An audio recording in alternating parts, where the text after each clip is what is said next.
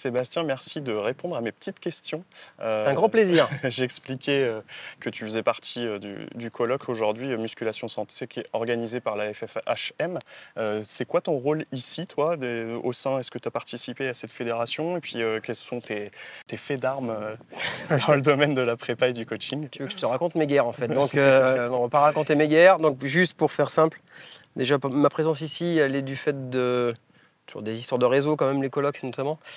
Elle est du fait de l'organisateur et de l'instigateur de ce colloque, donc Ludwig, qui, qui souhaitait me faire intervenir, notamment sur la question de ma fonction actuelle, qui est de gérer euh, à l'UFR Stabs de Clermont-Ferrand euh, l'option haltérophilie musculation, euh, rattachée à euh, la filière entraînement sportif, donc de la, de la L3 de Clermont-Ferrand.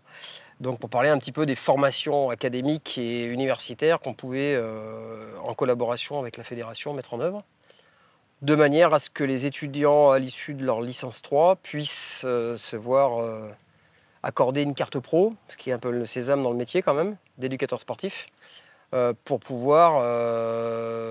Bah, c'est on va dire un champ assez vaste qui va du coaching en salle, à euh, la préparation, la préparation physique dans des clubs des fois de, bon niveau, puisque j'ai certains anciens élèves qui sont actuellement euh, dans des clubs de foot euh, de Ligue 1 et dans des clubs de rugby de, top 14. Donc des fois ça peut amener voilà, une filière ES de base, entre guillemets, mais dans laquelle on adosse ou sur laquelle on adosse ce supplément au diplôme leur permet d'évoluer professionnellement. Voilà, donc c'était dans ce cadre-là, en expliquant que voilà, il était fondamental à mes yeux dans le cadre de la préparation physique d'avoir accès à des formations altéro, muscu, mais altéro en particulier, parce que c'est un bagage technique qu'il faut acquérir quand on est dans, le milieu de la préparation physique. Et j'allais, puisqu'on est sur un cadre sport santé ici, on peut aller un peu plus loin, c'est-à-dire que c'est un, outil puissant avec un répertoire gestuel qui, qui s'adresse aussi bien aux jeunes enfants euh, de 7-8 ans comme à, la personne âgée, si on peut dire âgée, de, de, plus de 70 ans. À partir du moment où elle a une motricité correcte, on peut très bien lui intégrer une gestuelle altéro avec des charges adaptées, c'est tout. Mais euh, voilà. ce qui nous manque en France, c'est encore une fois cette culture qu'on n'a pas, qu'on trouve dans les pays anglo-saxons et qu'on n'a pas vraiment chez nous encore donc là, la, thématique de cette table ronde, c'était la musculation à tout âge.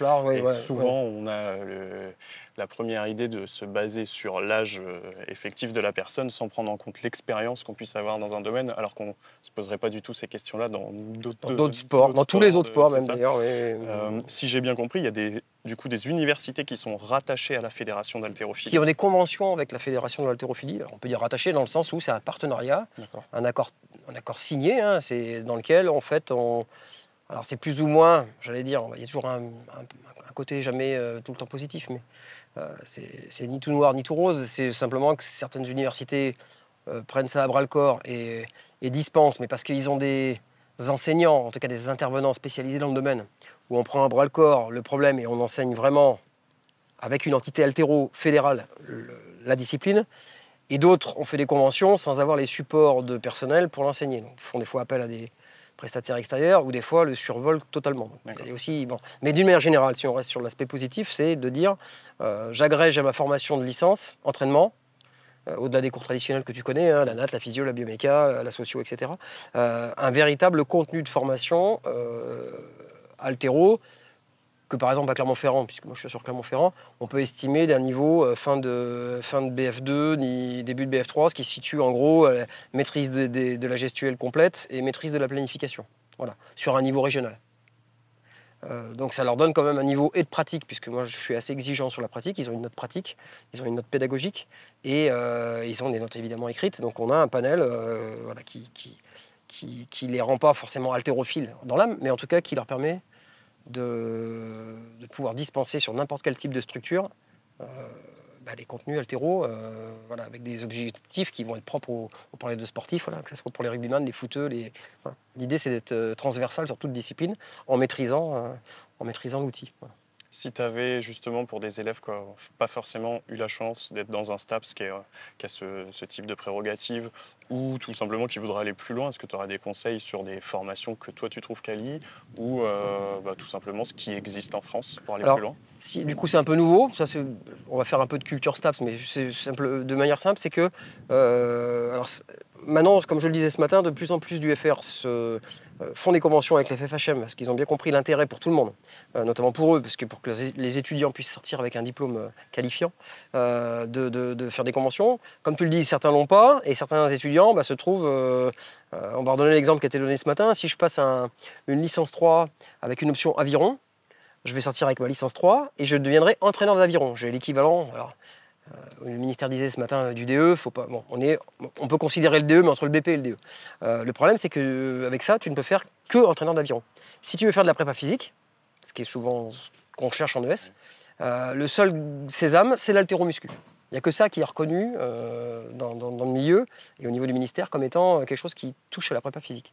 Donc du coup, ce qui se passe, c'est que par exemple à Clermont-Ferrand, nous on reçoit des étudiants d'autres universités qui ont déjà passé une licence 3 ils ne peuvent pas la repasser puisqu'ils l'ont déjà en entraînement.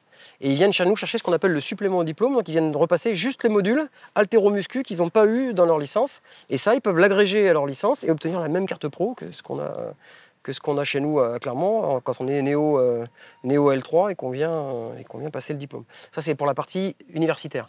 Dans la partie académique fédérale, euh, alors ça, c'est aussi toujours un petit problème, c'est que malheureusement, on n'a pas pléthore de clubs euh, locaux. Il y a des départements euh, et des zones qui sont un peu zones blanches désertiques en altéro. J'ai pas eu le temps de le glisser ce matin.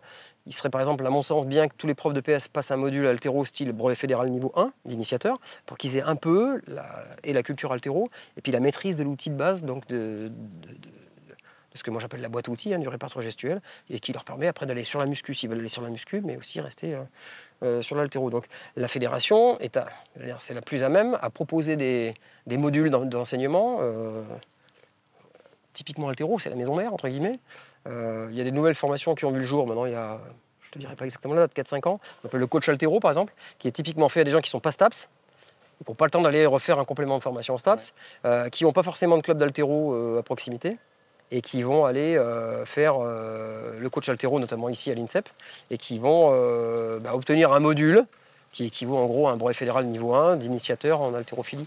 Donc pour des gens qui n'ont pas la, ni la possibilité d'avoir un club local, ni la possibilité de se licencier, etc., voilà, c'est un module qui est propre à permettre à tout à chacun de venir, s'il le souhaite, se former en altéro. Voilà. Si je peux faire un, éventail large. Donc voilà, la, la fédé d'altéro, ça, ça reste le la pierre angulaire de, toutes ces formations. Et puis les universités, euh, maintenant, euh, dispensent donc ces, formations. Si on voulait agréger à ça les BP, euh, on pourrait, sauf qu'ils sortent pas, ils sortent avec un module altéro. mais pour certains, là, c'est pareil. la Fédé, même si on pourrait dire que culturellement, elle chapote un peu le tout, elle, supervise un peu tout, on sait très bien que dans certains organismes de formation BP, en haltérophilie, la formation, elle est très, très, souvent très light. Voilà.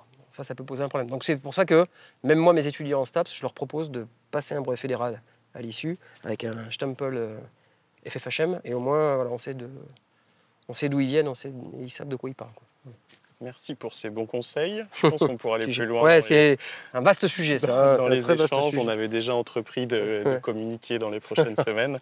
Euh, donc, c'était déjà une petite introduction. N'hésitez pas si vous avez des questions à poser en commentaire sur ces thématiques, parce que c'est souvent pas des sujets qui sont très clairs, surtout quand on n'est pas dans les, les strates, C'est clair, c'est le cas de dire. Donc, euh, profitez-en. Euh, c'est toujours le, le moment d'en profiter un grand merci. J'espère qu'on passera une belle fin de journée. On devrait passer une belle fin de journée. merci beaucoup pour l'invitation. Au plaisir.